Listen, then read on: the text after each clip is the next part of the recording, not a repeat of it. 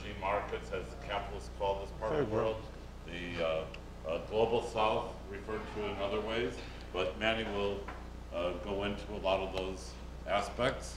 And without further ado, Manny Ness. Thank you very much, Michael.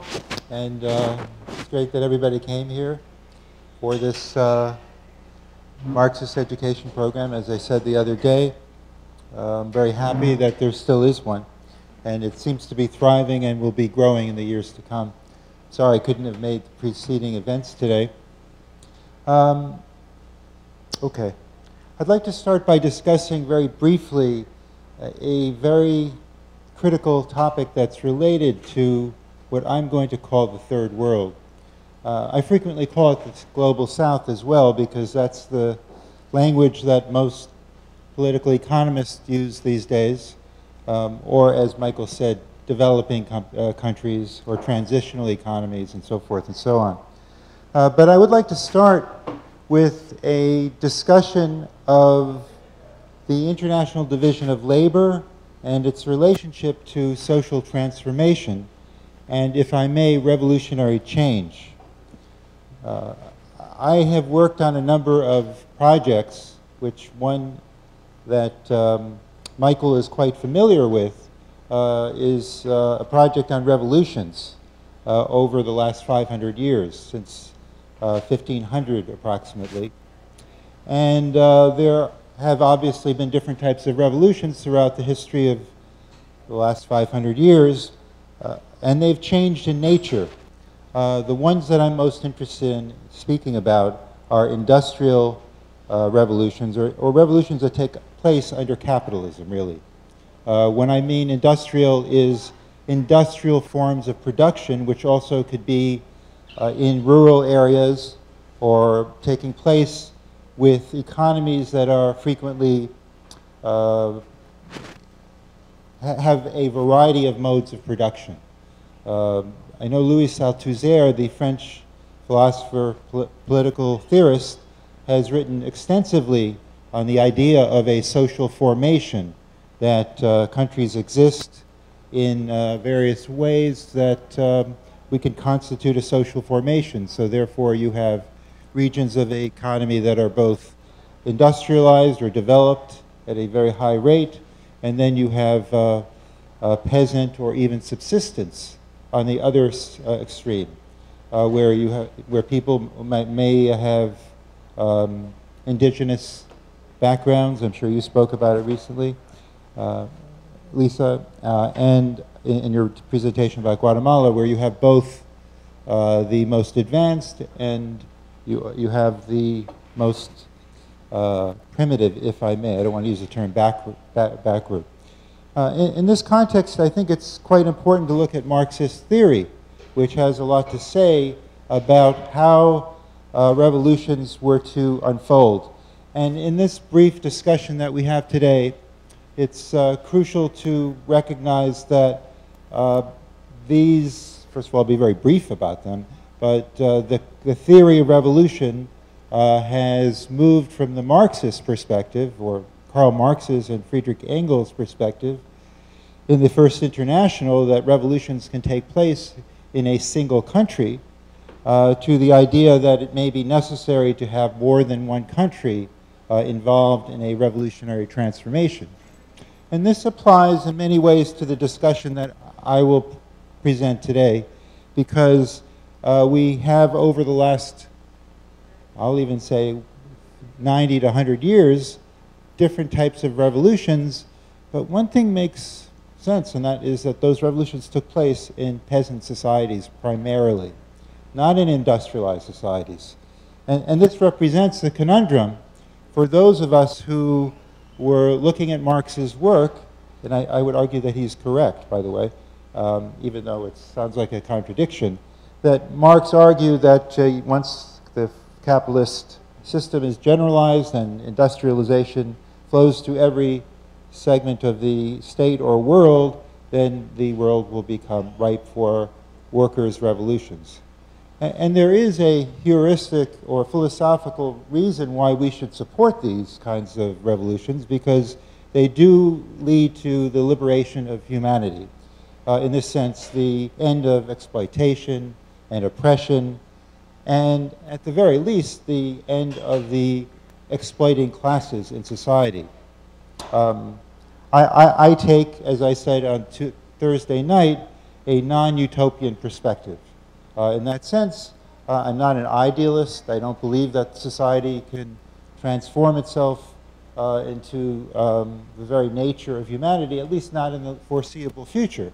Hopefully that will take place at some point down the road. And therefore, I'm an optimist because I see within uh, humanity the capacity to work in solidarity with one another, the capacity to engage in uh, a process of social transformation that is rooted in uh, a form of alliance amongst workers and perhaps also peasants and other intermediate classes. Um, okay.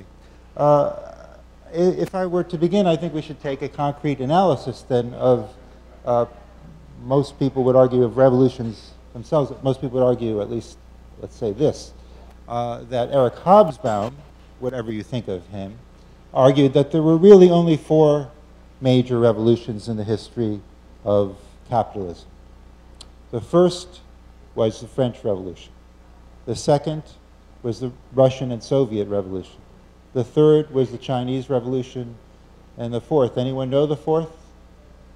Uh, the Ir Iranian Islamic Revolution. Because they really led to a fundamental transformation of the societies in which people lived.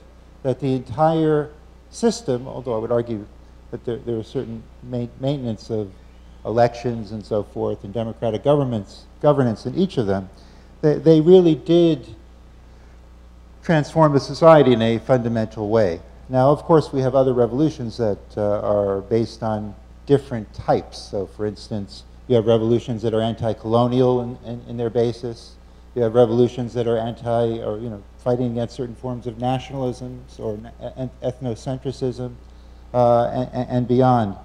Um, and in each of these cases that I bring up, um, that Hobsbawm wrote about in his uh, quick, uh, I should say, quick short history of the 20th century, uh, he made the case that uh, they were also revolutions that took place in societies that were not industrialized primarily not industrialized. Uh, obviously, there was industrialization and is industrialization um, uh, to a degree, obviously in French, France probably the least level, uh, since it was so early under capitalism. This raises a very important question uh, about the difference between developed societies, uh, wherein you have a very large urban working class, uh, a very large urban population that is highly skilled, uh, also perhaps highly uh, oppressed, works uh, in um, various forms of production industries, service industries, and so forth. This sector of the economy does not work in the agricultural uh, segment, except if you want to extrapolate the fact that certainly for food service workers provide food and people uh, provide cooking and other kinds of uh, things that require agriculture in one way. The, the, the second and most dominant form of revolution, I would argue anywhere, not just in those four countries that Hobsbawm referred to, are rural or peasant revolutions. Um, and in fact, I think it's this uh, tension, or in fact, if I may say, binary between the urban and the rural that has created a tremendous amount of political and philosophical difference amongst people who call themselves Marxists of various type. Um, in uh, this way, that beginning with uh, many of these revolutions, uh, we, let's start with the Soviet or Russian or Bolshevik revolution, uh, there was a question about in which direction the uh, Russian Revolution would take and whether the, as, as Lenin had written extensively about, whether the uh, Russian or Soviet revolution would lay the groundwork for revolutions in Europe. And in fact, many Bolsheviks as well as Mensheviks believed very strongly, especially Mensheviks, that in the, the Second International formation, that these revolutions must, by their very nature, uh, start in Europe. And by Europe, we're talking about Germany, uh, the Low Countries, uh, Netherlands, etc., uh, and, and England, and could not take place in uh, Russia because it was too backward. Uh, the economy was not as advanced and so forth.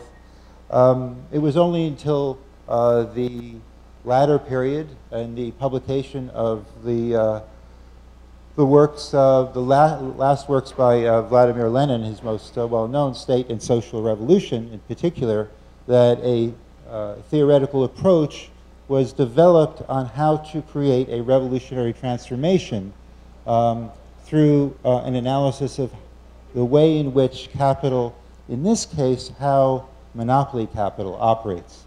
Now, I'm not going to go into the minutiae of this because today many people would argue um, and discuss the various forms in which capital take. Uh, uh, and I will also, to a certain degree, but I won't go into the specific arguments that are being put forward today. Uh, what I would like to say is that we are faced with a major problem in a theoretical perspective.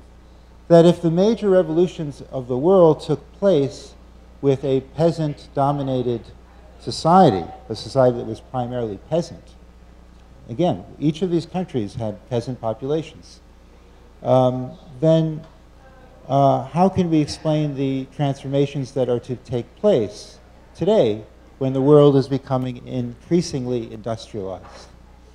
I know many people of particular political slants who would argue that we need a peasants' war, that the uh, peasants will lead the revolution uh, through their red bases and so forth, uh, and that they represent the leading edge of exploited people and so forth because they're dispossessed of their land, and uh, they're fighting not just capitalism, but imperialism.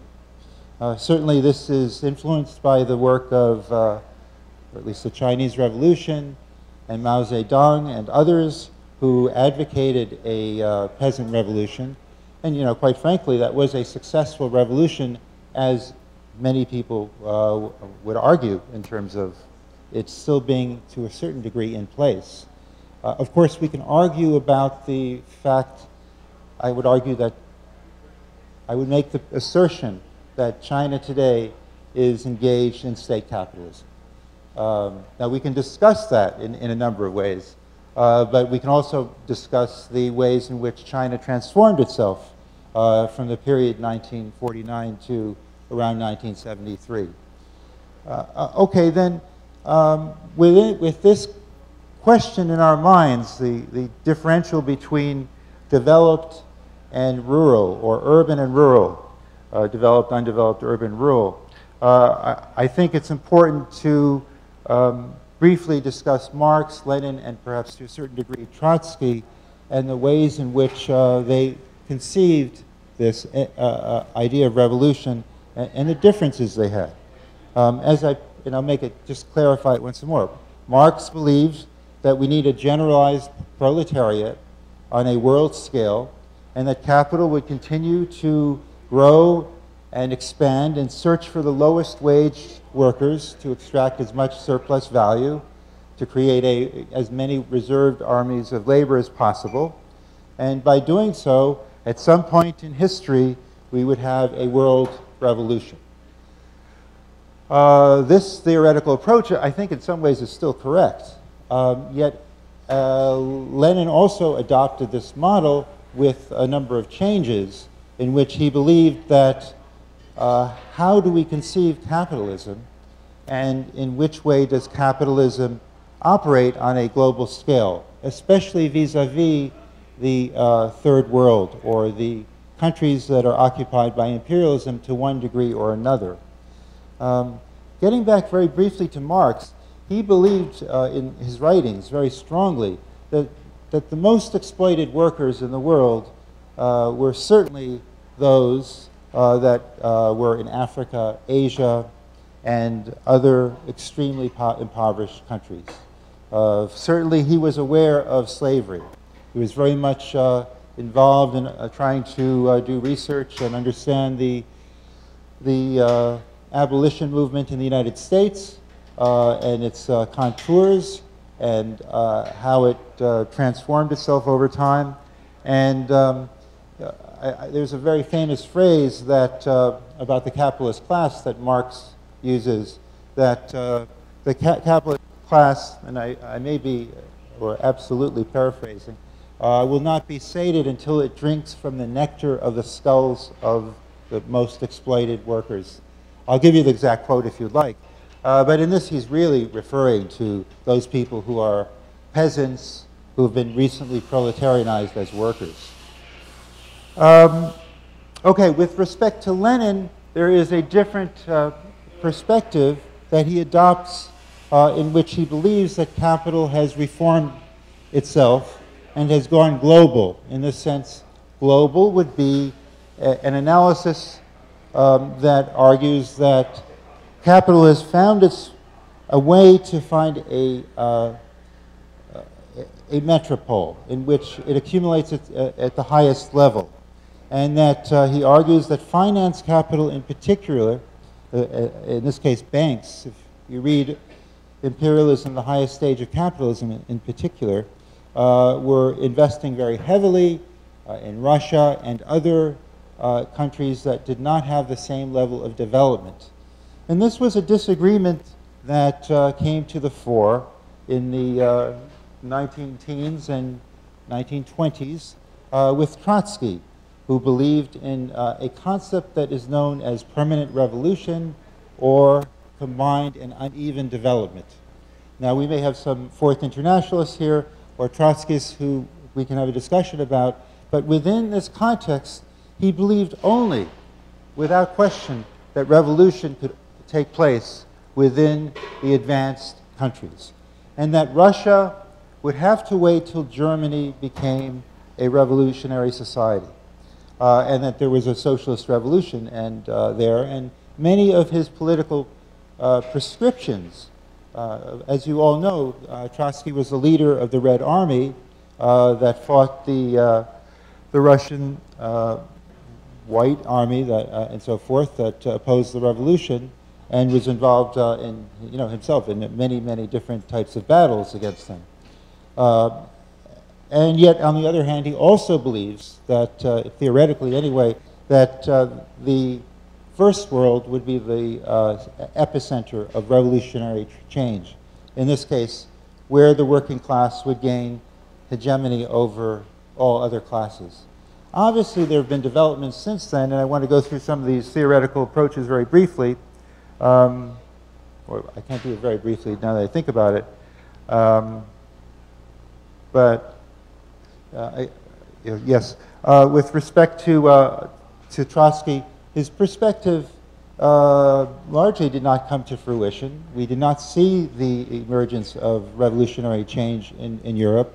Uh, Edvard Bernstein and other evolutionary socialists in, in Germany under the, the SPD um, advocated a process of revolutionary change that would be rooted uh, in something called evolutionary socialism, uh, and others uh, of his ilk uh, believed that, and the Second International became what I believe the basis for the foundation of social democratic parties in, in Europe and throughout the world.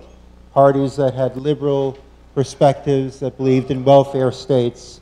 Um, this was the SPD, the so German Social Dem Democratic Party's perspective, uh, and it is one that people still hold on to this day.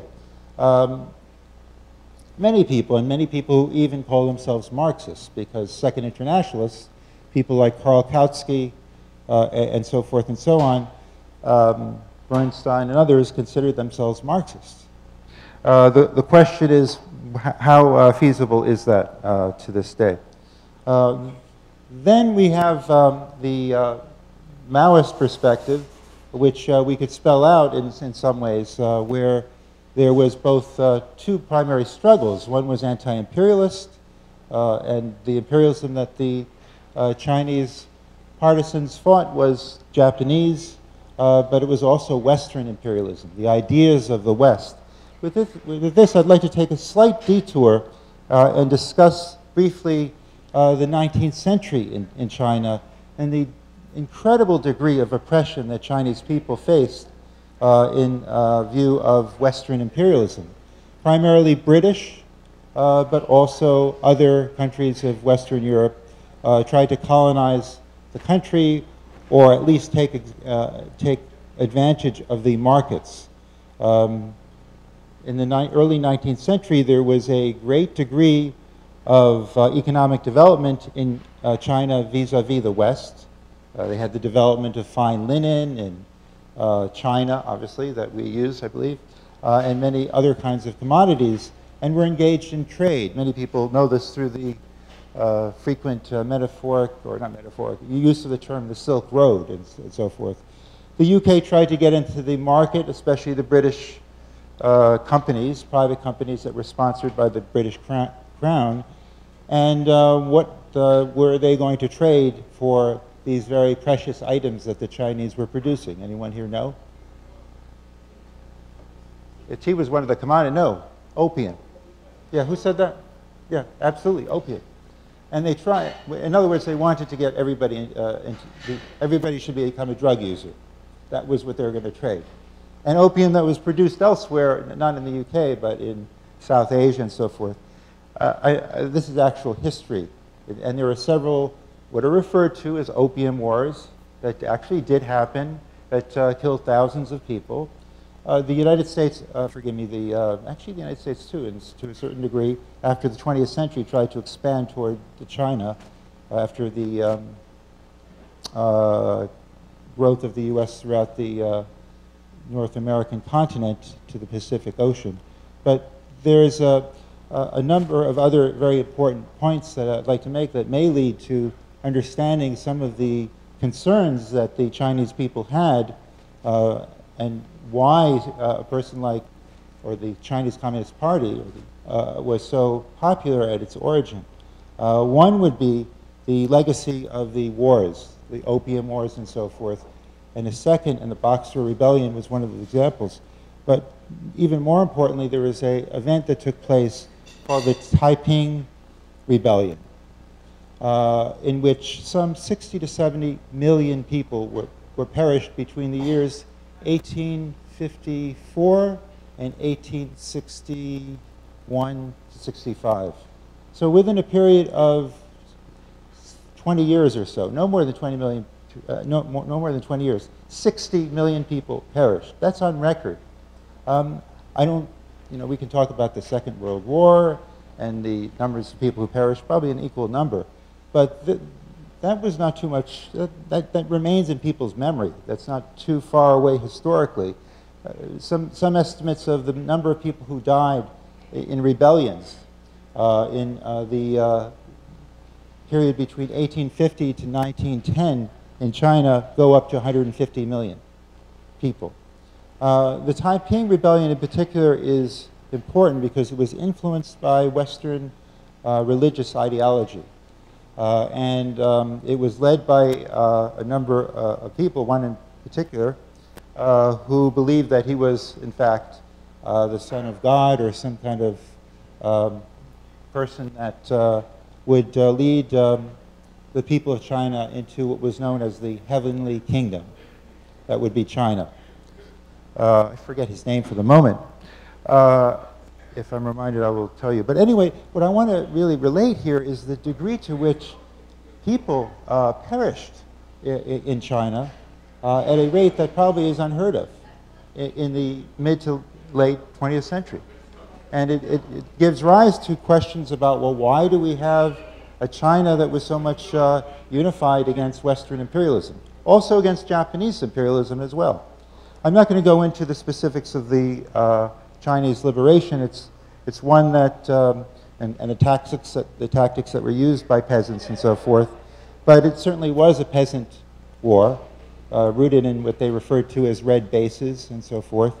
Uh, and uh, it was also a bloody war, uh, but it, it led to um, a degree of stability in, in China for uh, the period between 1850, or forgive me, 1949 and the present, really, where there really has been general tranquility, if I could use that term, uh, in Chi China, even though we do have capitalism in China, market uh, uh capitalism.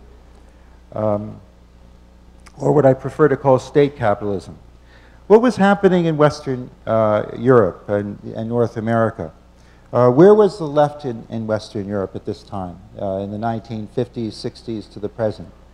Um, and I, I, think it's important to talk about it very briefly. Again, uh, in the 1960s and so forth, after the war, uh, there was the crushing of the uh, fascists, uh, but also a, the defeat of many leftist, um, if you want to call them communist movements in places like in, uh, Italy, Greece, and countries throughout that region. Some, there was a battle to some kind of compromise.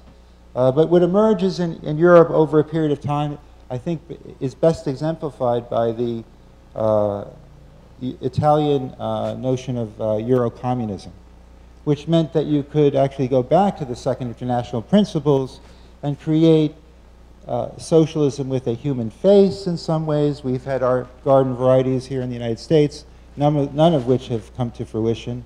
Um, and in Italy, there were a number of attempts to do so in a period in the 1960s and 70s when you had a very radical working class movement, where workers were taking over factories, where workers were seizing uh, the means of production, where there was a tremendous amount of uh, resistance against a state that became increasingly brutal toward its people uh, in uh, an era between, I guess, 1970 and 75 called Operation Gladio uh, which was, uh, it translates into uh, strategy of tension uh, into the English language. And during that period of Operation Gladio, uh, leftists were terrorized, killed, put in jail. workers were, um, the same thing happened to workers, especially left workers, to eliminate these communist and socialist movements there. Um, Okay, and then we also have the decline of the Soviet Union uh, in the end of the 20th century, uh, which is a very important notion, uh, one that I would argue, uh, as well as some others, that has its roots in uh, the uh, struggles that took place at the foundation of the country in many ways. Um, and those struggles were ones over questions of whether the Soviet Union would be rooted in class conflict or whether it would be rooted into you know, whether they would consider themselves a socialist state already. There are many, uh, this, this, is actually the major argument I, that many people have today here in this country, uh, what was the nature of the Soviet state. Uh, ac according to Nikita Khrushchev, the country was already socialist by the 1960s. Okay. Um, but I don't know if that's true. And I think a lot of other people would disagree with that as well. And uh, this argument uh, actually, is, I think, is probably going to be the argument the, for, for the years to come. The, the, very nature of the Soviet Union and, and other countries that saw themselves as socialists, what, what they saw as socialism may have been just a battle against the West uh, or a struggle against the West over um, various regions of the world for influence. Um, and in this context, I also want to talk about the just a bit further with respect to uh, socialism. Many people refer to this issue as revisionism. Uh, and I would also like to point out that it was Lenin, cited by the work of Georg Lukács, a, a very prominent uh, Marxist theoretician who went on to become a leader in Hungary of culture, I believe, the cultural leader, um, who wrote uh, a very interesting book. Actually, the thing I like about Lukács is that he rejects some of his earlier works. Um, and I think that's something that we should all, at least I should learn to do, and I have learned to do, is that, and I, I feel like I've sometimes thrown them away, I dislike them so much. But the fact is that we could, you know, we can evolve through understanding in our own ways the way the world uh, is. And what Lukács argues, and I, I don't know if he rejected this, but he rejected some of his earlier stuff even before the 1920. Uh, he argued that um, this is a very uh, strict argument that what we had in Western countries was a dictatorship, a violent dictatorship of the bourgeoisie. if we only look at the different labor struggles, it seems true to me. In the United States and Western Europe, workers were repressed violently. I mean, just take a look at the southwest of the United States during the period between 1910 and 1925, where you have migrant workers, uh, especially after, uh, dur during and after the First World War, as part of the first Bracero program, who were uh, highly exploited and then forced to go back to Mexico. And many of them were killed, uh, and many of them engaged in strikes and struggles. One of the most notable is in Bisbee, Arizona, uh, I believe in 1918. Very important uh, struggle that took place. I, I mention this be because I really want to evoke the notion that the, the bourgeois state is violent. And if you take a look at the ways in which, the, for instance, the United States in particular uh, has over time uh, at least up till 1935, and the National Labor Relations Act was passed, salute, uh, that, that the United States was um, imprisoning people, strikes were illegal, workers were uh, fired whenever they formed unions and so forth. Actually, it sounds a little bit like today in some ways, but today we don't really even have unions to the same degree uh, of militancy or even power than, than that period of time or maybe even numbers in the private sector. Uh, what, what argues is that, well, we have a violent dictatorship of the bourgeoisie, and what we need to replace it with is a dictatorship of the proletariat. And there is no in between. In other words, we can't transition immediately to socialism. And I think this is really the major debate that many people on the left continue to have. Uh, that, um, and I argue that the state in itself is a violent apparatus that uh, its inst very institutions are coercive. And I don't think Lenin disagrees with that argument. He only argues that, well, under socialism, at least it will be less repressive, less repressive than a uh, dictatorship of the bourgeoisie. Um, well, uh, in this way, I, I want to uh, move on to a discussion of the contemporary era. Um, I can go on in this uh, debate, or that I'm debating, actually putting forward the debates that are uh, provided.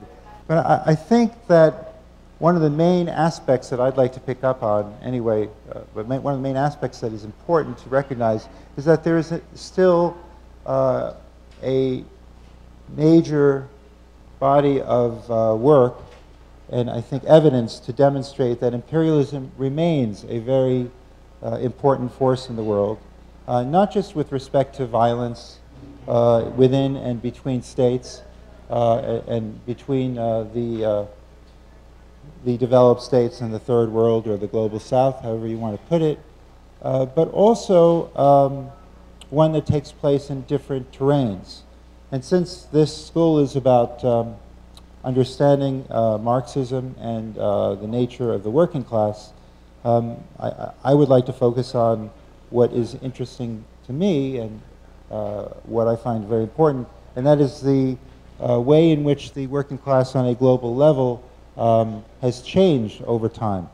I will only look at the, the, last 10 or 15 years within this context, but I think you'll find it striking to recognize that uh, the working class, obviously because of the number of the population on the planet, I think on Tuesday night, Lewis said we had 8 billion people.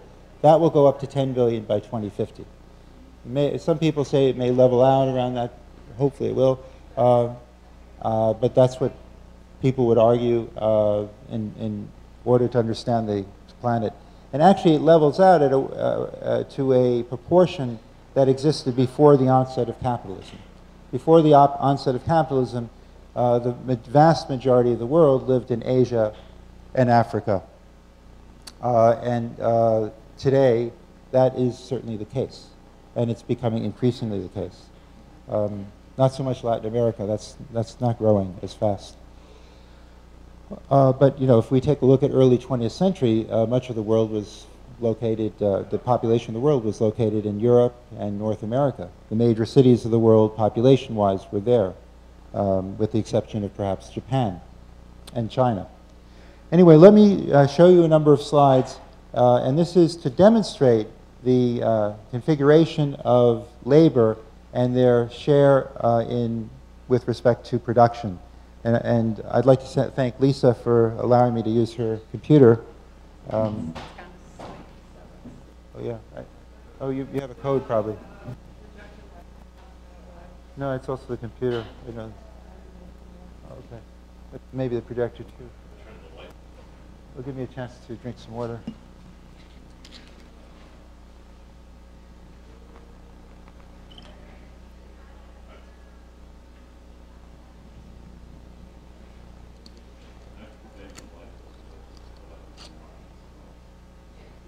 Not really slides, it's just a PDF file. What is it, PDF? I alluded to this a little bit on Thursday night uh, in, in showing you the, where, you know, the distribution of labor in the world, but I think this will be highly telling. It should work. It, Yeah, well, the projector doesn't seem to be it'll work. Turned itself off. Is there a reason there? It was hibernating, probably. It was on, and uh, Yeah. it's gonna heat up. Okay. Or any, po- uh, me- meanwhile, maybe there's some people here who have some questions or comments. Oh, here, let me take the mic to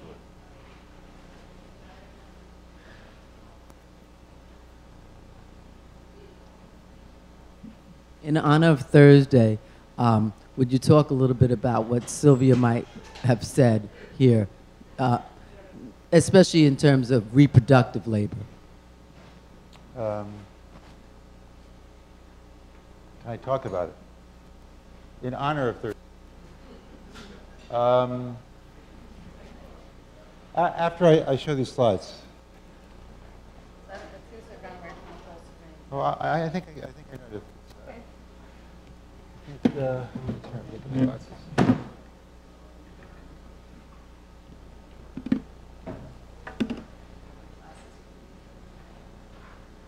Okay, I've made these slides, uh, yeah, it's hard to read, it's actually easy- easier to read there. I've specifically made these slides uh, to focus on developing and transitional economies. And uh, I divided this up into three different categories. Uh, one is agriculture, the second is industry, and the third is services. And it shows uh, the share uh, in which each of these economies have um, of world output. And uh, if you look at the bottom line, you can see the world number uh, on the top line, uh, where between 1999 and 2009, uh, agriculture has, you know, basically held steady. Uh, industry has grown dramatically, and, between 533 million to 668 million workers. Uh, forgive me, uh, 666 uh, million workers. That's because of the economic crisis. And then um, uh, services uh, always dominates economies throughout the world. And the, the other point that you can see various different countries uh, share and regions share of that. But the bottom line is, uh, and actually I think it is the bottom line, no pun intended, uh, is that if we take a look at the share of developing and transitional uh, economies of the world, you will find that in 1999 there are about um, 100 million, well, and, and to 2009, about 100 million workers, uh, forgive me, I'm sorry, uh, the share of all workers in the world that were in agriculture remains about 100%. All peasants are in the global south, in developing and transitional economies. I think that says a lot. I think it says a whole lot. That, first of all, it says that the world is becoming much larger in terms of the number of population, and that there's still a very significant rural, I think that's the computer, uh, there's still a very significant rural population that exists. Um, I think I'll, I'll remember this, uh, but maybe not. Or maybe it's the uh, screen there. Oh, okay. Oh, I think I know it too. I know to do that. I think. Okay. But there still really remains, if you take a look at industry uh, in the South, uh, developing and transitional economies, you have a, a, dramatic growth from um, 77%. Uh, something is happening. Sorry for the- these interruptions. I don't know what the problem. Is it power? I don't know. It's got Yeah, uh, let me, yeah, I'll give you the general, Yeah, I'll give you the concepts. People want a copy of this, I give it to you. That the, um, that in industry, uh, it's grown to uh, roughly 84% from 77 in the 10-year period. Uh, And in services, uh, it is, it has also grown, but only uh, between 71% to 74%. Anyway, that's, uh, that's what the first table says, but uh, uh, I wanted to, I don't know what's happening here. And then I wish we did have a, uh, I think it's the monitor, it's not your Yeah, computer. monitor seems to be off. Yeah. Monitor. So. Well, well, I guess the, the next table, I, I guess I'll just give you the concept. Um,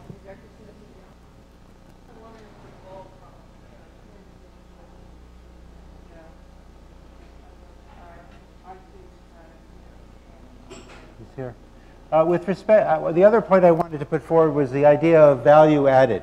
To what degree does a specific economy uh, and work, working class contribute to the global economy?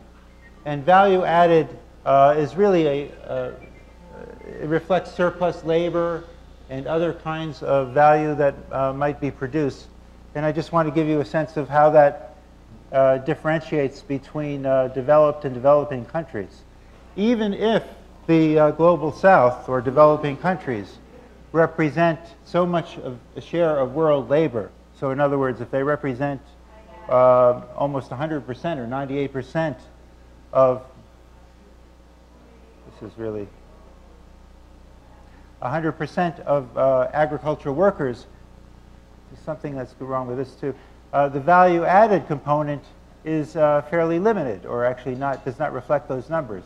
Um, but I don't know if this can really show you that. Oh, I'll try to explain. Uh, oh, okay, It keeps popping, I, I don't know, there's some type of communication error going on. right, it could be my, this computer. Here I'm just trying to point out that the value added that's provided through for uh, developing countries is much lower per, per share. Value added is much lower. You have uh, nearly 100%, let's say 98% of all workers in agriculture in the world who are in developing countries, uh, and they produce about 85% of all value added in agriculture. You have uh, some 80%, or what was it I say, 85% of all industrial workers in the world, and the, they produce less value added. Why is that? There's a very good reason. I think some of you may know that. And you take a look at services, it's also a third of that. Um, and then uh, there is uh, the total. So I think this number is in uh, billions of dollars.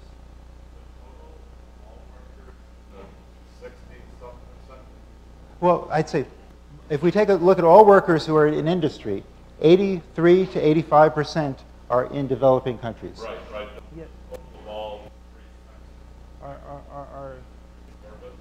Uh, this is not the number of workers, this is the level of value added, produced. The uh, surplus, really.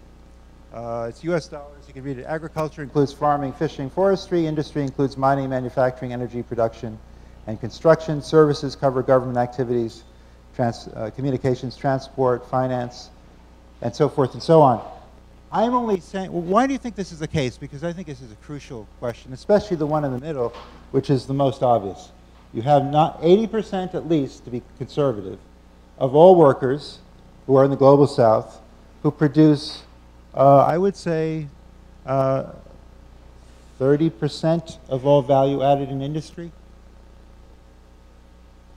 Why do they produce, if you have 80% of all workers producing in the global south, and let's say 20% at most in the, in the developed countries, why is the value added so much lower for the working class that is in developing countries?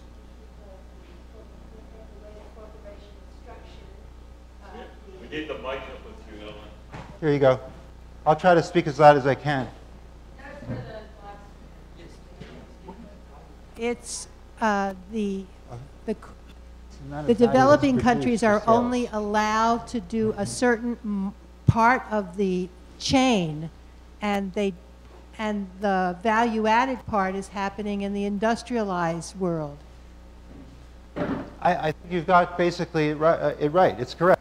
How many of you have uh, read about the story of the Apple, is it the iPhone or the iPad? I think it's an iPhone. Some of you may even have an iPhone in this room. It typically sells, I think I just read it in the Financial Times, for somewhere around six or seven hundred dollars, maybe six fifty. Uh, there was a report, and this is the World Bank, a capitalist institution, uh, multinational institution, that uh, points out that in about five years ago, uh, the iPhone uh, was still about six or seven hundred dollars, and that it was produced by a Taiwanese and also South Korean firm that contracted its work to China. China. And in this process, uh, the total amount that the Chinese producers, these are the business companies, were able to uh, earn as a result of the production of the entire iPhone, except for maybe the apps or something like that. The actual physical iPhone was $7 out of that 650. Now this tells you something about that. In other words, where does, who gets what share of the value of the production in various ways? Many, you know, the World Bank and the IMF and these other organizations such as the uh, World Economic Forum will tell you this. They'll say, well, you know, we're much smarter than you are. I think I just heard this on TV about a sports announcer. Uh, we're much smarter than you are, so ergo, the work we do is much more important. So if we make apps or, or we make some kind of uh, function, we should get paid a lot more than you should. Um, and in this, I'm just trying to give you an example, that with that iPhone uh, or any other kind of device, the profits are realized in the, among, in the multinational companies themselves, and in finance capital and in world financial markets, uh, stock markets and so forth, hedge funds and, and, and so forth and so on. And that's also true, as you can see, in services as well. Uh, once again, with respect to services, uh, one, uh, perhaps one of the best examples is uh, to use communications technology example again, one that you're many, uh, many of you are aware of, and that is uh, the, um, the, the worker who is um, servicing your interests on the phone that you call up for servicing or via computer. Um, most of those workers are in India, uh, some of them are, are, in the global north as well. And uh, they get paid a marginal sum of money. And many of them actually come from rural areas uh, uh of the world where they speak English or uh, learn to speak English uh, in places like the Philippines and India, where you also have to learn to speak English, and beyond. I, am trying to put forward the, the, the, argument that we do live in a world in which economic profits are realized in um, the West, and the work, by the, the, vast majority of work, production work, goes on elsewhere. I'm not saying all of it, but, but much of it. And many of the other tables, uh, and I think I'm running out of time, will show the same. Oh, yeah, here's a good example. Uh, this table uh, is uh, the average hourly earnings, average hourly earnings around the world. I don't know if I should bring it a little bit. Yeah, yes, I will. Okay. Actually, I could read that better. I'll read off the screen. Um, okay. Okay. Uh, the average uh, hourly wage in the developed countries is $16.80 an hour.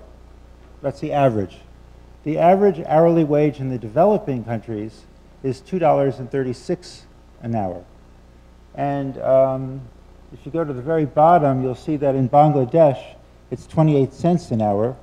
And at the very top, it's Switzerland at 35, 33 an hour. Now, these are only workers who are in the formal sector of the economy. This does not include informal workers, contract laborers, who make the majority of all workers as an example, I was just in India, uh, 93 to 94 percent of all industrial workers, or all workers, not just industrial, in, in India are informal. They're not paid these wages. So that they could get paid virtually almost nothing Um, and I have to say this also that people can't live on these wages necessarily. It's very difficult to, to live on these wages. Some people would say, well, you have a different economy of scale. Well, you know, you can buy things for cheaper prices. Actually, you can't.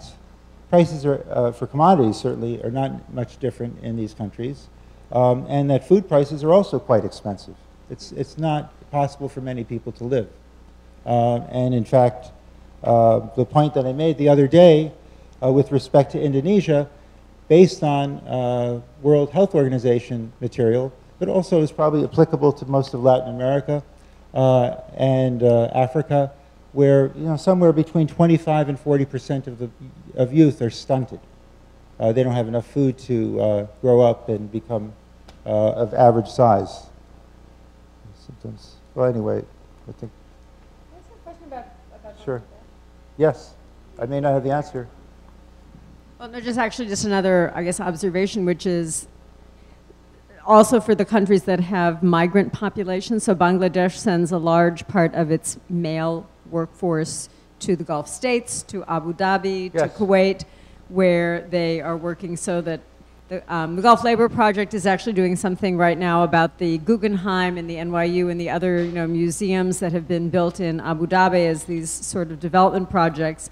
And who has built these are virtually slave laborers from Bangladesh and a few other places. India. So women and India. So women go as domestic workers to the Gulf states. Men go as oil and other contract workers. And so it's just interesting to think about where do those wages fit into either the Bangladeshi national wage scheme or the you know Kuwaiti or the Abu Dhabi, where you have countries like Kuwait where is it 90% of the workforce in Kuwait is migrant labor and in Abu Dhabi similar? So you don't actually even have so you have this internationalization of the proletariat who are making money in the countries not where they live. And so this very I think very just interesting you know Yes. way in which profits get taken surplus value gets extracted wages get paid or get don't get paid um, you know, and these are more between sort of like south to south rather than south to north. But this kind of migration within the so-called developing world, I think, is also an important thing to think about.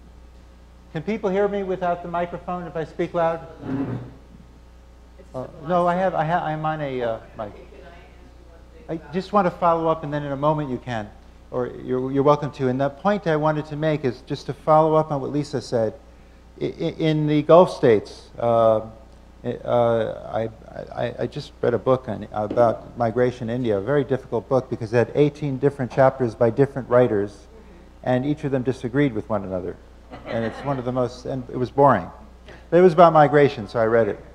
And uh, one of the chapters which I was interested in had to do with the Gulf states and migration from India. These are the lucky people, the people who have the opportunity to migrate. They're not the most impoverished. These are the people, I mean, if you take a look at the Gandhi story, his family had to pool wages uh, or money, wealth, whatever they had, very lim- I mean, they, they were um, well to do, to, to, to send him to England to study uh, law. And um, so he was highly marginalized in that, in that sense, but uh, he was lucky uh, to be a member of the more privileged classes or, and castes. And then uh, the, the other point would be with respect to the Gulf states.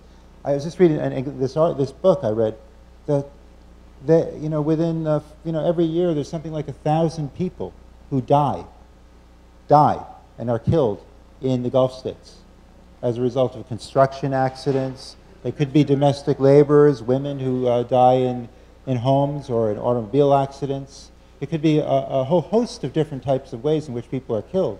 And once again, these are the lucky people, the people who have a few more privileges, but, but they're also highly exploited. A- And they represent, I mean, globally there's about 220 million people who are migrant laborers on a global scale, which uh, you can do the, Country to country? yes, yes, yeah, Yes. migrant, migrant. Yes. It's a quarter billion people. uh, just less than that, maybe two, but it's probably growing, yes, uh, who who are registered by the International Migration Organization, yeah, or I, Inter- International Organization Migration. Yeah, I can't see this without glasses. Yes, but one myself. Oh, I'm sorry. So Manny, because I did hear you on Thursday and I noticed that you had proposals for us, you know, like to go to that demonstration about the South African workers. Right. That's why I'm asking this of you. So if we think of this in an activist perspective, can we also say to ourselves, well, something to help or assist fighting for would be health care and housing, et cetera, because wages don't only just exist in, you know, without a context.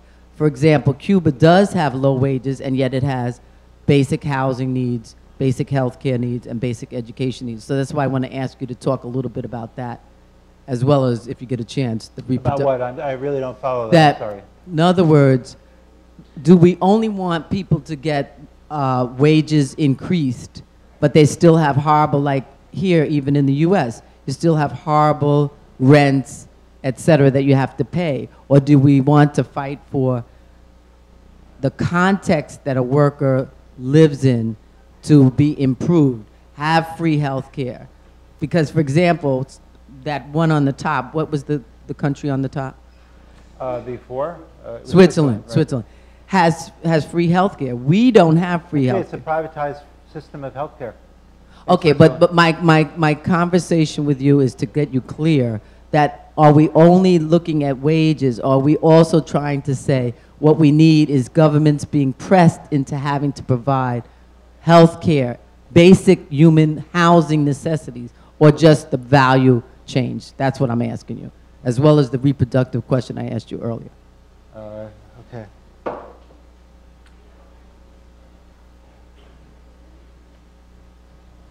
I, I think I understand this question, uh, but I may not. So forgive me if I don't. And that is that I, I think you're asking whether we should take certain aspects of the economy out of the commodity, uh, uh, out of co- commodification, decommodified uh, various essential parts of life housing, you just said, he- healthcare, electricity, sanitation, transportation, we can go on and on. Uh, and then you also asked what we can do about it, which is a different question. I don't know if I have an answer at this moment. Uh, I think we have to learn, I, for me, it's a process of, of learning about these dynamics. I think there's th- certain things we can do. Go to that rally, for instance, that might help, because they're fighting about service delivery. Um, and yes, I, I think uh, certainly it would, but we're living in a uh, era of liberalization.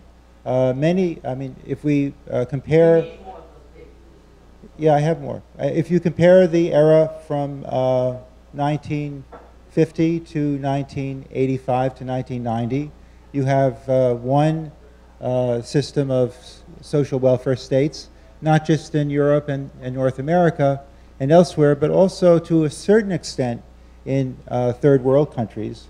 There are more levels of uh, social protection, such as housing and healthcare and, um, and so forth and so on.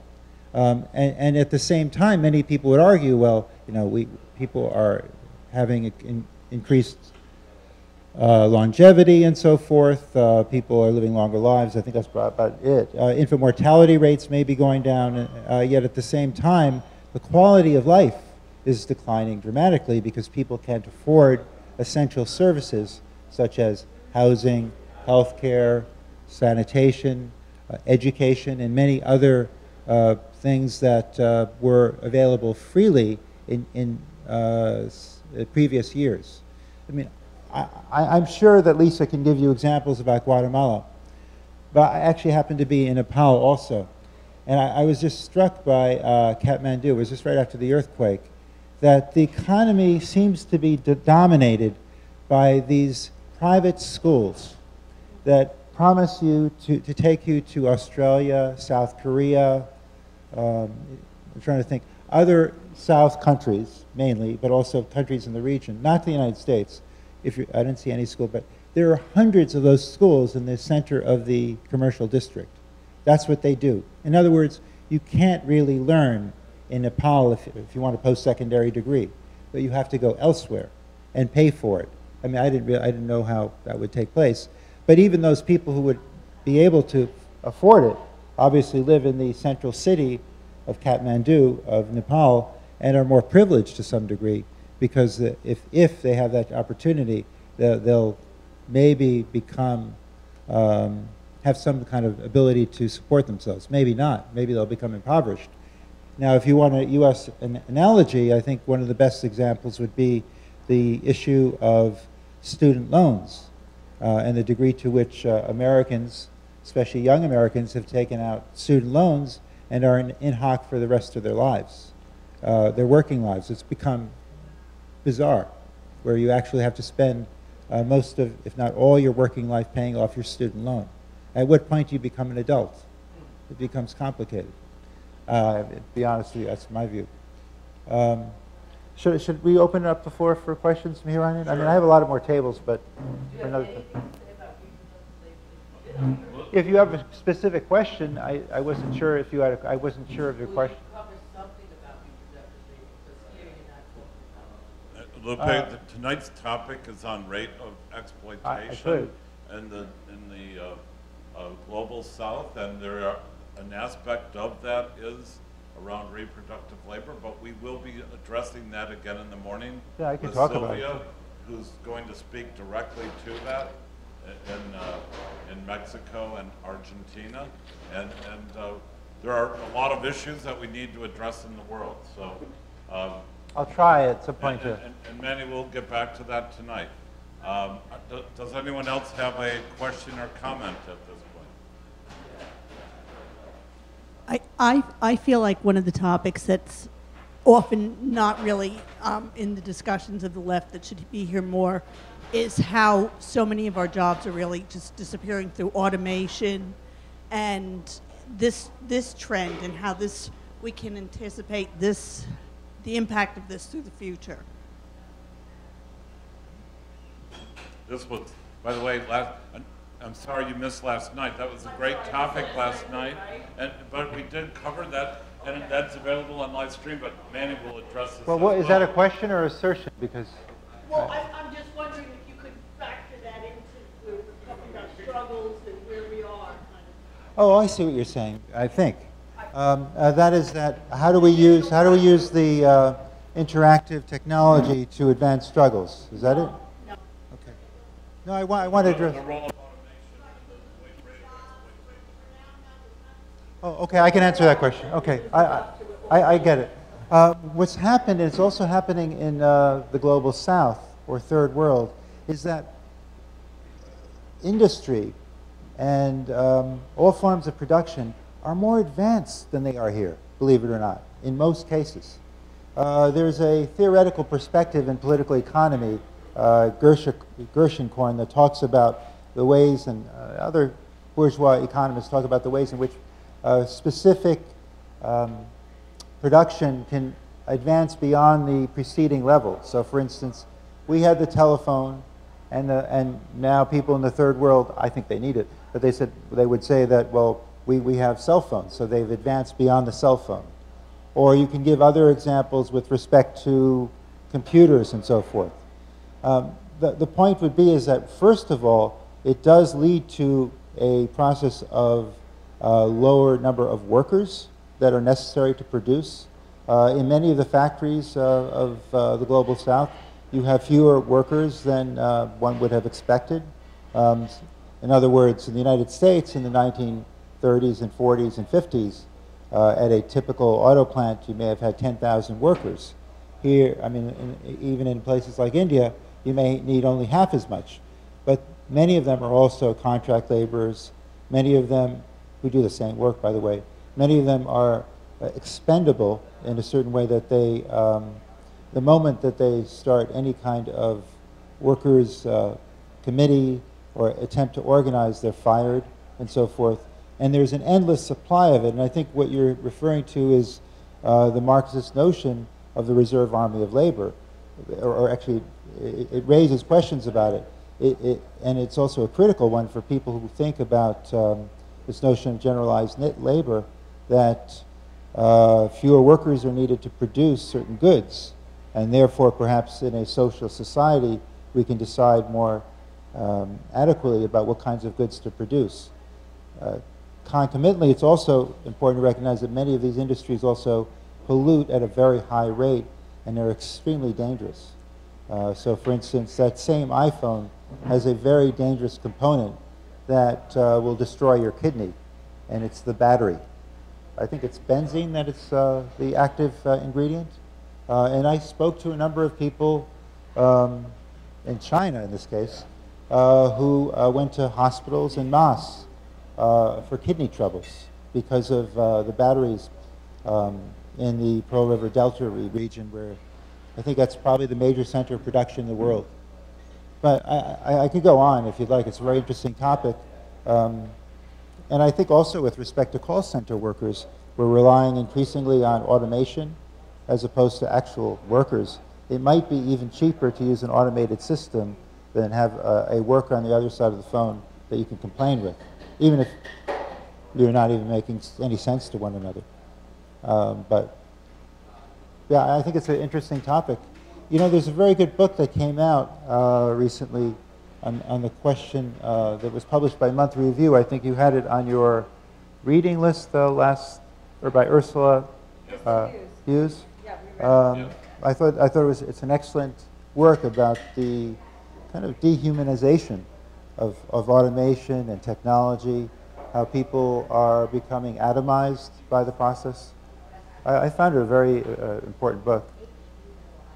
A- H-U-W-S. Yeah. H-U-W-E-S. Oh, maybe you, you may. I forget. Ursula, you are, yeah. Yeah, it's a great book. Yeah, it might be on our table, maybe. No, we're out of them. Okay, Helena, Reproductive labor. Um, so you started with a kind of overview of the. you have to Oh, sorry.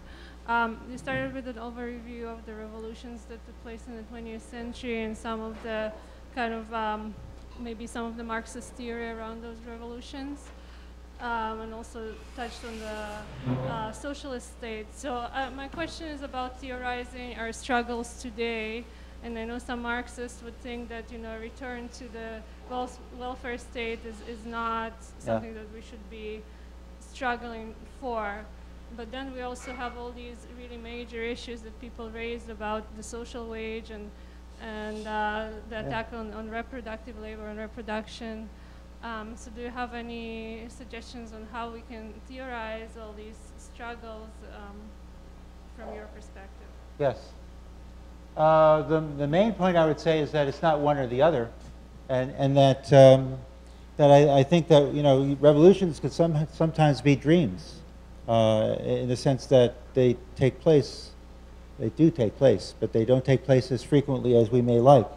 Um, and therefore, I, I think it's crucial to fight over social delivery and social, uh, social services. And that actually deals with the question of reproductive labor, as uh, you pointed out before, that um, one does not exclude the other. Uh, some of the most important struggles today are about access, as was pointed out earlier, to electricity, housing, water, health care, and uh, the right to actually the city, as you know, obviously the uh, Henry Lefebvre and others have uh, written extensively about, followed by David Harvey, that these are crucial questions that uh, bear on the ability of people to actually exist on a daily basis. And those are certainly the struggles that I put forward, the, the wage differences, also uh, may reveal the degree to which people are actually engaged in these struggles to a much higher degree, actually, uh, in some countries than here. For instance, in India, um, when you have uh, a neighborhood bulldozed uh, by the government to uh, make way for a transportation system, uh, and it creates a tremendous amount, well, first of all, it displaces thousands of people, uh, and, it, and it creates a tremendous amount of pollution and sanitation issues. Uh, people have to struggle over those, uh, those questions as well. Um, I mean, we can go into specific theorizations about uh, different, uh, uh, different scholars in, in the Marxist field, but in my view, I think that one does not preclude the other. That in fact, it's those direct struggles that we're engaged in on a daily basis, here or anywhere, that uh, are crucial to recognize, um, and that um, really the the idea of the South Africa rally that I'm encouraging people to go to is uh, a struggle about people having access to uh, social, uh, to electricity, to housing, to uh, the social uh, welfare net that white people have in South Africa, to extend that to, to black people who don't have that, and against police brutality as well. I don't know if I answered your question, but I, you know, and also on the question, the issue of reproductive labor, uh, I, I think uh, I agree with Michael that it's sort of embedded in all this, A- and um, the point I try to make in my work is that I show that women are not only engaged in reproductive labor, and that it's extremely important to recognize that they are primarily as workers, as migrant workers, for instance, Filipinas in Canada, uh, or Hong Kong and, and in other places. Uh, but also, uh, women are engaged in work, uh, in production, services, agriculture. In fact, I would argue that the majority of agricultural workers are, in, in fact, women. And, and I, I, I agree with Sylvia's perspective on the, that, actually, I would say absolutely, following the work of Lacan, that women are much important, more important than men are uh, in general, uh, because they're in, involved in the process of reproduction and social relations at that, that level. Uh, however, um, they're also working. So there's a double process of ex- exploitation that's taking uh, place. Um, so maybe we have to um, commodify, I know this really, uh, some people may disagree, commodify house, household labor uh, and uh, pay people wages uh, that are decent. So for instance, domestic workers in this country, Do- Domestic Workers United is not as active as it used to be, but they were and still are, to a degree, a very important organization to support, um, to ensure that especially migrant workers, who make up the vast majority of domestics in this country, are treated well and paid decent wages. Add something because I think that when we also sort of disaggregate these statistics, and particularly looking at the informal economies and agricultural work and all the unwaged work that's done, right? That if we actually break that down, but it's very hard because it doesn't show up in the statistics. So I didn't get through all of my charts on Guatemala, but there was one that looks at you know rural men, rural women, paid employment, and and so when you look at rural women in Guatemala, it says something like 38, they're like 38% employed. Well, no, every, every rural woman works, right? That they're not in the wage economy. No one is in the wage economy. And you have a small business, a small store, and nobody's earning a wage. It's a small family business. Everybody shares in the earnings the husband, the father, the grandmother, the uncle, the kids after school. So nobody's earning wage. So how much work is done in in the developing countries, in the third world, in agriculture and elsewhere, that is in some ways unwaged work because it's it's either it's informal, it's casual, it's in the family, or it is in fact reproductive labor. So of course, rural women, it you know, hauling water right throughout Africa. I mean, this is still right tremendously labor intensive, time intensive, and the amount of work that women do in that part of reproductive labor in rural areas, um, you know, is, is just an incalculable. I mean, I, I think the average is, you know, still a few hours a day that is spent just gathering fuel and gathering water in, in, in many rural areas. So this is, a, you know, this is stuff that doesn't show up in ILO, IMO, IOM, and other um, statistics, as well as, you know, clearly domestic work and when it becomes a wage work, when it's commodified, is when it's done for someone else. But when you become a migrant laborer in the Gulf states, in Italy, in Hong Kong, in Los Angeles, in Queens, doing it for someone else, that kind of caring labor, that emotional labor. So I think those are clearly, you know, we're talking about a number of different things from the economic part of it to the aff- affective part of it, right, which is a whole different set of, of, of questions.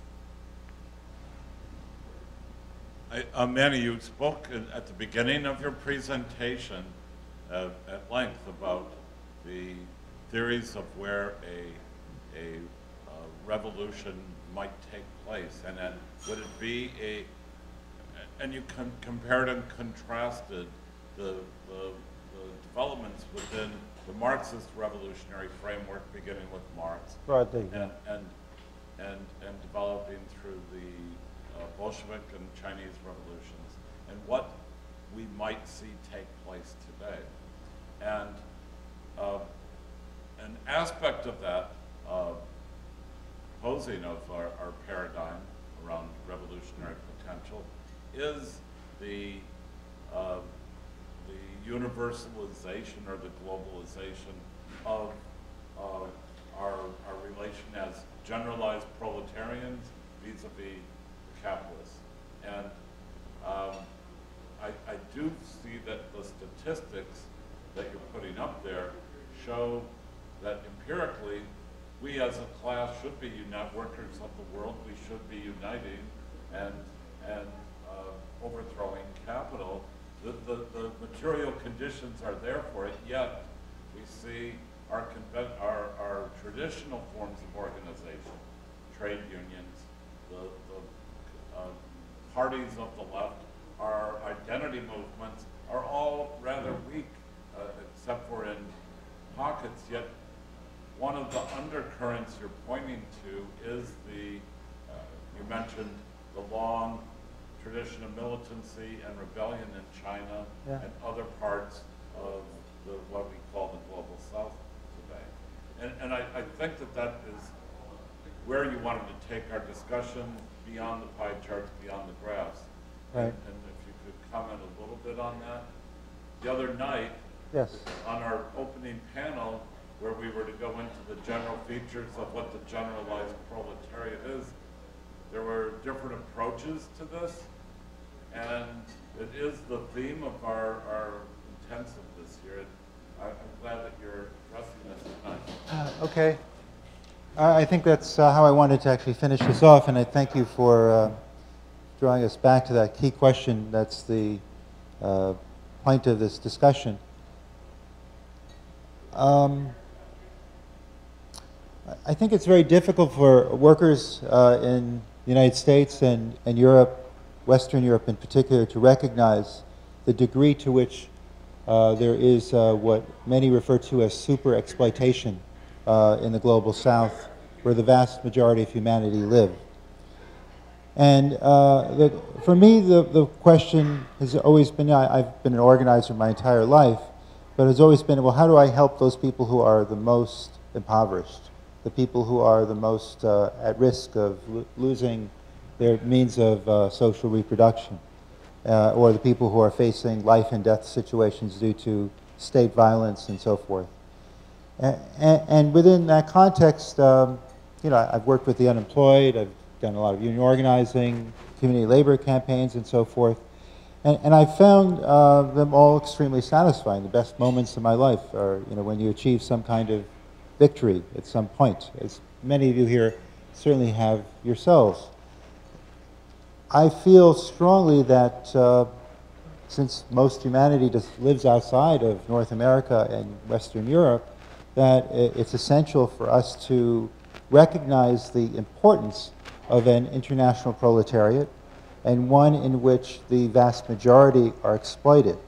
Um, uh, John Smith, not, not the John Smith that uh, is the economist, though this guy happens to be an economist, uh, has written a book, it's coming out soon for monthly review, uh, about a process of which he calls global labor arbitrage, uh, in, in which uh, workers themselves are becoming commodified, especially in the, the South, the, the third world.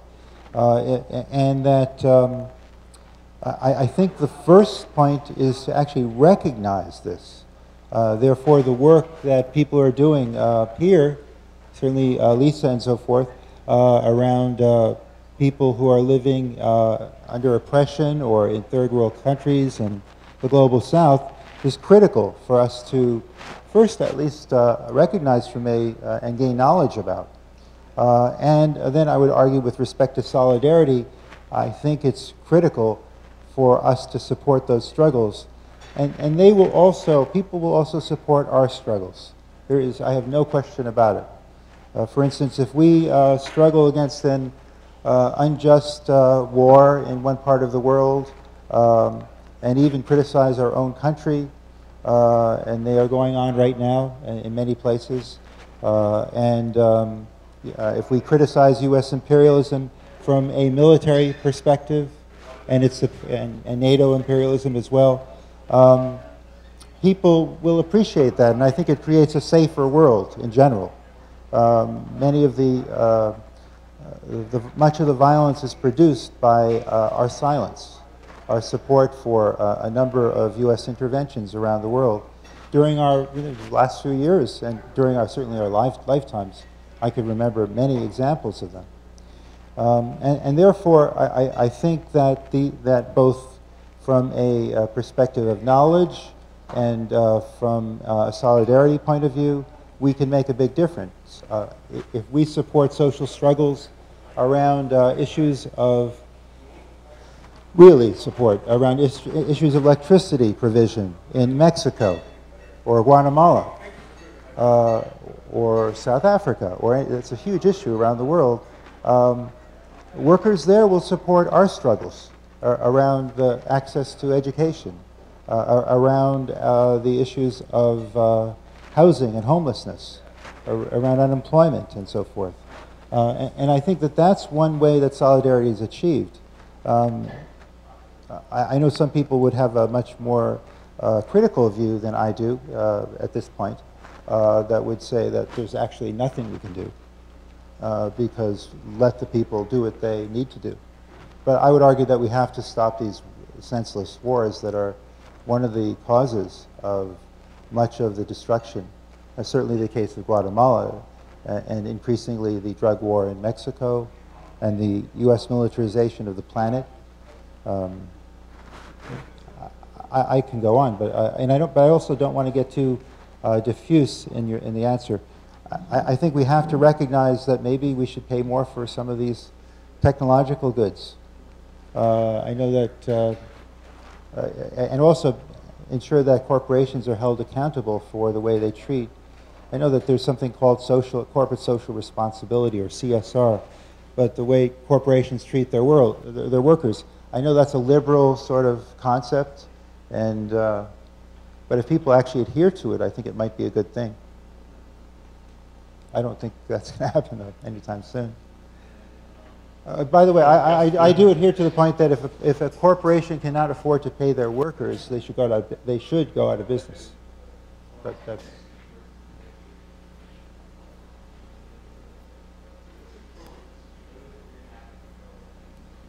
Um, thank you, Manny. Uh, I just wanted to ask really quickly. I don't know if I missed this from your presentation, um, but you mentioned, you know, re the recent revolutions uh, against capitalist capitalism in peasant societies.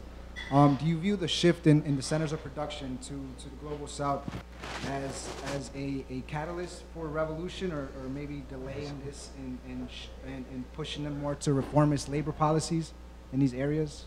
I want like some a great question. Well, I think that's a great question. I, I, really do, and I, I hope uh, I hope we can come up with an answer to that.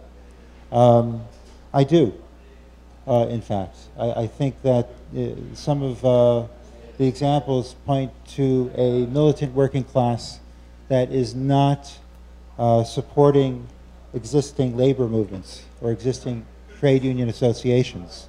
Uh, a labor movement that is more militant and perhaps taking to the streets. Um, and that's happening uh, not just in the global south, but also as we see in Greece and other countries where there's uh, a huge amount of social and economic uh, fraying of uh, those societies. But in each of the, you know, throughout the third world, there are major workers' movements. And many of them are outside of the mainstream. In other words, they're independent. Uh, I mean, I, on the question of revolution, I, I, asked Michael how far left I can go. I don't know if I'll go there. Uh, but revol revolutions are not necessarily, uh, I mean, the way workers are treated today, uh, the working class and peasants around the world, women, working class peasants, everyone, are treated today is violent.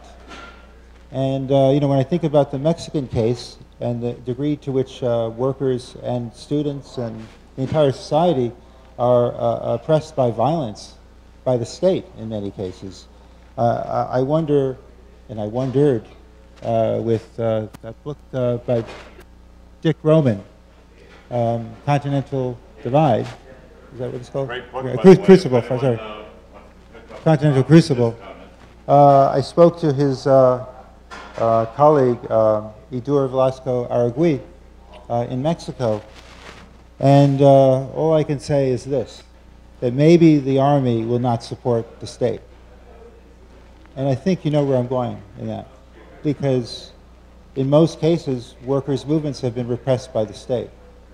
And we see country after country after country where state violence is used against workers who are trying to organize, for instance, in Colombia, workers who are organizing in, uh, in Peru and, and, and also throughout Asia and Africa. Um, and uh, this also requires an opposition to U.S. imperialism, which supports many of these uh, movements through uh, covert and also sale of arms. I'll also say it's not just the United States. Arms sales are growing throughout the world, and it's a very serious topic. But with respect to Mexico, the army happens to be primarily indigenous, which uh, may lead to a lessening of violence, one would hope, if they were to support the working class, because their families are workers. And I guess I'm raising a very touchy question there, but uh, it's uh, one that is, is present in virtually every revolution. China was not taken without a, without, you know, the Chinese Revolution did not take place without resistance. I'll use that term. The same with uh, the Soviet Union and many other countries. Uh, no, I, I, once again, I'm not an idealist. Uh, hopefully, future experiments and efforts where workers gain power through the state will be more peaceful, and uh, we can learn from the lessons of the past. But um, when I look at these workers' movements, I see them as revolutionary and militant, and I'll give you several examples. They're taking over factories. They're taking over mines. They, they are, they, they don't want to go to work. They're not going to work. China, India, South Africa, uh, Mexico. I can go to, from country to country. This is expanding as a general phenomenon. And so uh, I do see the centrality of the working class. I do see the centrality of women as part of the working class um, uh, in that same context. Uh, so I'm not, in this case, as well as the agricultural workers, as uh, Lisa was pointing out, they make up the, the vast majority of all agricultural labor. Uh, and uh, sadly, men don't do the work that they should do in many of these countries in terms of rural labor. Also, many of them, there's a very good book by a friend of mine uh, uh, about after the suicide, something, it's called something like After the Farmer's Suicide, Who is Left? Uh, women who owe uh, the, their dowries and owe these incredible bills to landlords and so forth. You know, people have heard of the farmer suicides, uh, but women still need to work and care for children and uh, other people's children as well. Well, at least in some hope. Any further comments or questions for tonight?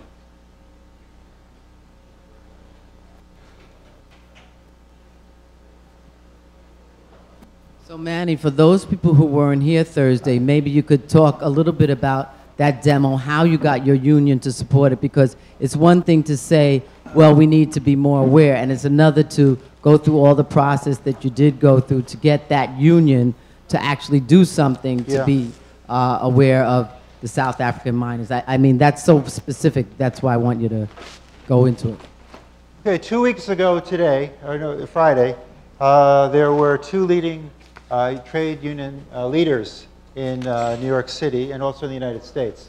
Uh, Zwelinzima Vavi, the former head of COSATU, the major labor federation of South Africa, and the other person uh, is Irvin Jim. And uh, Irvin Jim first spoke in New York City in December, I believe, no, actually, Jan- was it December or January? sorry, December of, of last year. And um, he, he came to 1199 because 1199 and SEIU support his union, which is called the National Union of Metal Workers of South Africa, or NUMSA. And it, it created a certain buzz in New York. I was aware of what was happening. I think many people were. The, the massacre of uh, workers that has, continues to this day in, in certain contexts in the mining belt. Uh, what I did, uh, what I didn't, it's not what I did, what our union did is uh, we, we went, we took it through official channels. We went through our international committee. Uh, we went to, um, I went through uh, the executive council and a delegate assembly, and it was the union voted to support it. And we have a number of activists. I know Omar knows one of them, uh, or even two in our union, Jackie, uh, who have been extremely uh, supportive and instrumental in pushing this forward. Um, and so I think my view has always been that you don't need many people to to create something that is uh, a constructive social change or to create something that's real. Anyway, you, I, I don't know your name, so. What's Lou. Okay, Lou. Uh, um, uh, I think we're hoping that a number of other unions will support this. We'll find out next week. Um, our union, unfortunately, uh, there is protocol when it comes to unions. And so I know a number of people in the union movement in New York City, but protocol tell, uh, the protocol of unions is that union leaders talk to each other about whether they can support it. And also, as I just told you, it's a complicated process to get it through one union. It was completely supported, but it takes a long time. But the Central Labor Council of New York City is putting it on their website uh, as an event. I don't know if that will bring more than one person out, but um, But people who aren't in unions could actually pressure for No, the thing is that it's, it's, it's taking place very soon, and it requires, uh, you know, people are away during the summer, people in my own union, who knows whether they're going to show up or not. I'm going to make sure it's, uh, me, a, a number of people and I are going to make sure that it's a success, because you do relentless work. You I mean, that's why I have to get some other stuff out of the way. Uh, but you do too. But, but what you said on Thursday, people might not have gotten about how this came to be. How this is that we're not going along with our regular union in South Africa. Remember? Oh, you're not talking about the unions here, you're talking about the unions in South Africa? Uh, I think that would be a long conversation that I would certainly like to address, but yeah, I think there's a film that's coming up, but I would be happy to, I, I would be happy to discuss that. Uh, what I would like to do, I think, uh, is to tell people who are here that it would be great if you could come out to the demonstration, and maybe you can ask others. Uh, if you want to contact me about it, please do. I, I, uh, I can give you my email address. Um, it's at uh, it's three weeks from tomorrow uh, at the at 3:30 to 5 p.m. It's going to be peaceful. We're going to have a mic and so forth, uh, and a permit and all that other stuff. Uh, a and this is what I will say, uh, a rally uh, in front of the South African consulate uh, at 333 West 38th Street in support of uh, East 38th Street, 333 East 38th Street. Did I say that right? I said west. It's on 330, I- maybe I keep saying west. 333 East 38th Street, near the UN, forgive me. Uh, That it will be um, a vibrant demonstration. We're going to have some very good speakers. And it is in support of the workers there and their effort to gain greater access to the kinds of things that were discussed, that Paulina raised and others, about social services, and also to condemn the killing of, of workers who are protesting. Uh, uh, on the 25th of July of this year, just a month ago, precisely a month ago, the South African uh, government uh, essentially absolved everyone that was responsible for the killing.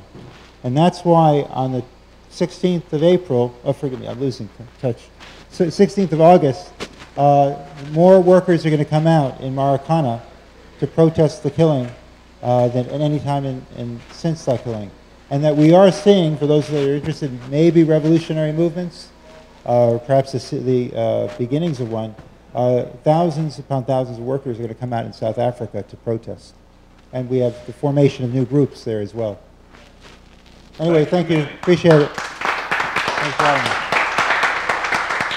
Fifteen minute break, get a beer, get a wine, get a coffee. We'll have a film at eight forty-five sharp. Did everyone hear me? Do you want more? or- Okay.